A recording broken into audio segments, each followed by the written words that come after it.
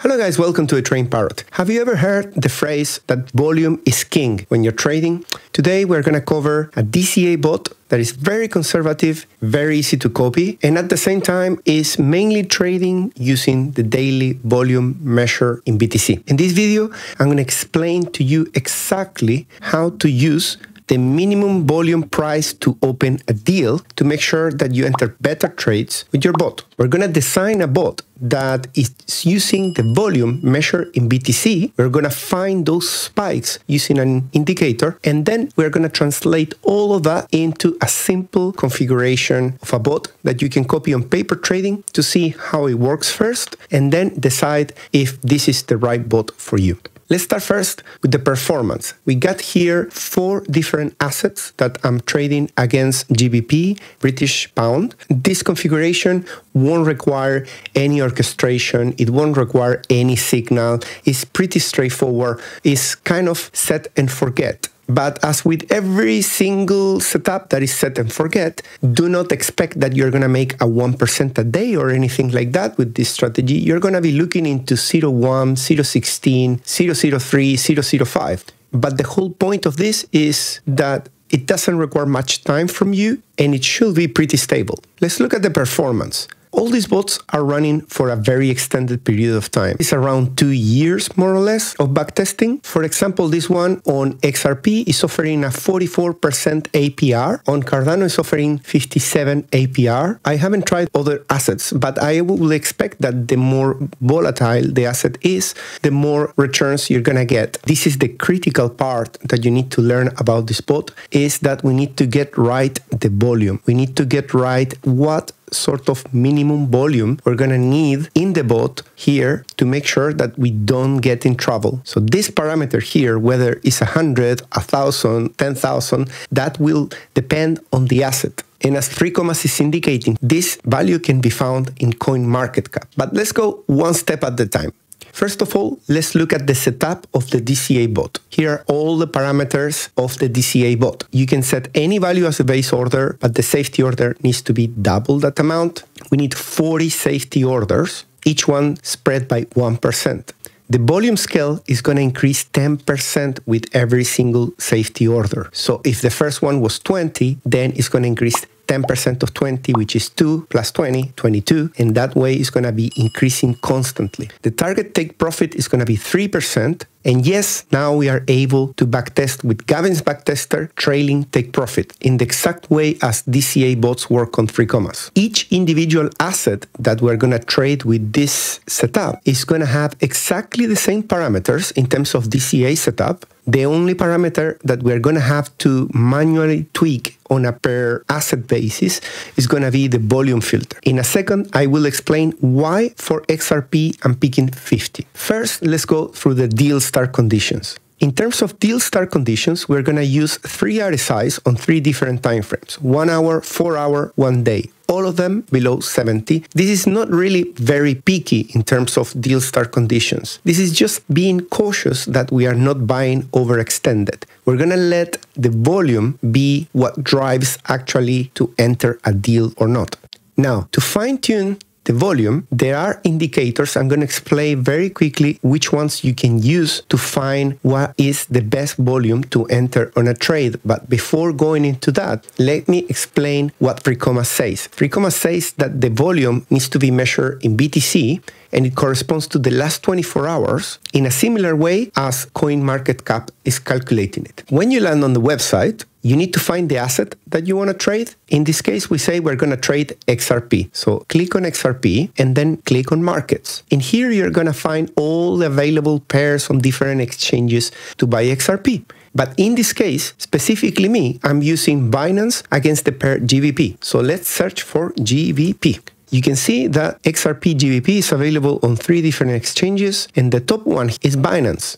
But we got a problem. This volume is still measured in USD, it's 600,000. But it clearly states here on 3Commas that it needs to be BTC trading volume for the last 24 hours. So we need to change that. In CoinMarketCap, it's very easy because you can change the currency here. If you click at the top on USD, you can change it to BTC, which is what exactly we want. Once this shows BTC there, if we search again for GBP, now we can see that the volume on XRP is shown calculated based on the daily value of BTC. So it's 31 BTC. We're using the column volume.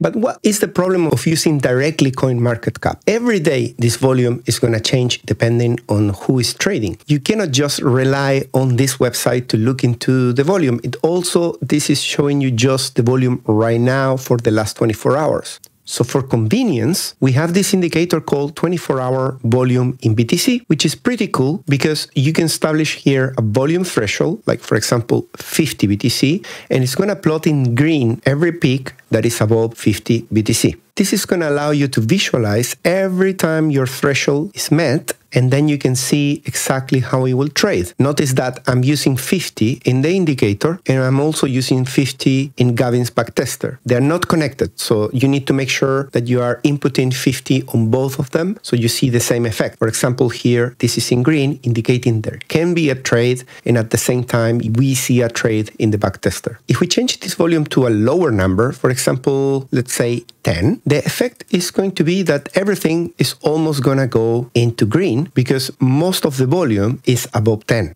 If we use a value like 50, we're going to see that in the bear market, mostly when we see a big movement, we get that amount of volume. If we travel back in time, here we are in April 2021. We can see how XRP is pumping heavy. And you can see as well that a volume of 50 is almost always fulfilled. There's a lot of volume compared to the volume that we see these days. At the very peak, XRP got into 1.5 K daily volume traded in BTC. During the bear market between May and July, there's a little bit of more quietness, and then in July it starts pumping again for a final peak. Post September, getting a volume of 50 gets more tricky, and that's how the volume is actually protecting you to enter trades only when the price is gonna have enough volatility to exit a trade. In all these areas where there is not enough volume, we could say that it gets more risky to enter with a DCA bot. We actually need that liquidity to be able to close deals more easily. If we completely remove the volume filter and we set it to zero, the performance of your strategy might grow significantly, but at the cost of taking a higher risk. As we can see here,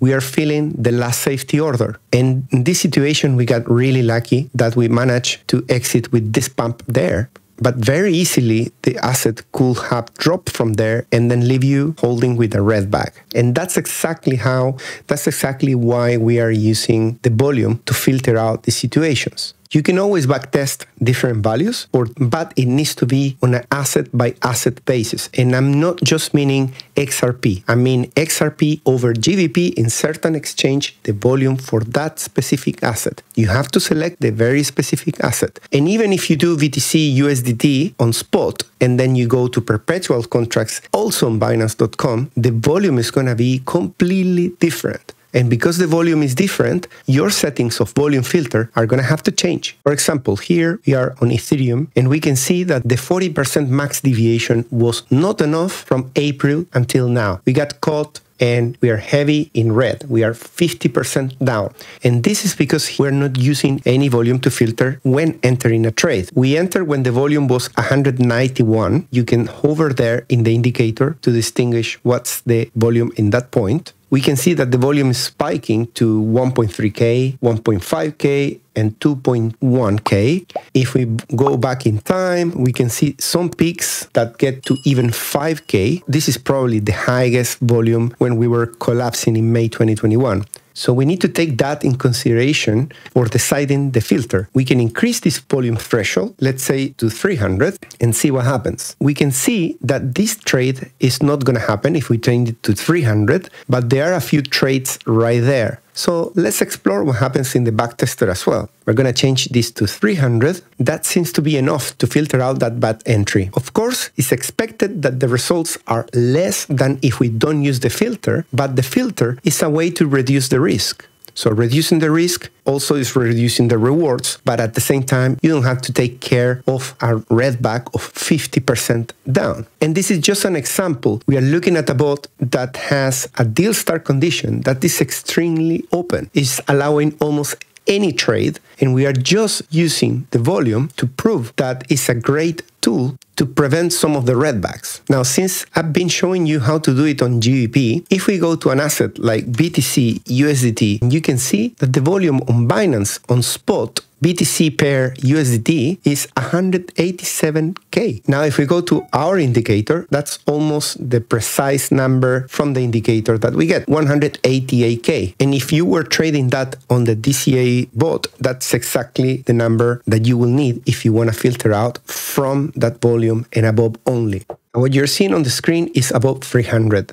And 300 is almost a placebo because you can see everything is in green. There's never less than 300 volume on BTC. So what if we were okay to compromise some of the results, but try to prevent this that is going pretty far? You can see here that is filling the last safety order. So if this didn't close there, which by a by a tiny hair it managed to close and then start dumping again. If we want to reduce that risk, what we can do is look at the volume at that point is 94K or 91K, and we can say we are not going to trade it. We're going to trade above that. We're going to trade maybe 120. So first, let's change it here for display. So now this is showing us that this will trade all the dump, all the second dump here. And then as the price starts moving again, we get massive volume there and we start trading that too we need to go to the Gainium's backtester and change this to 120,000. So the first difference that you're going to see is that we enter a little bit later in the trade as the volume starts coming in.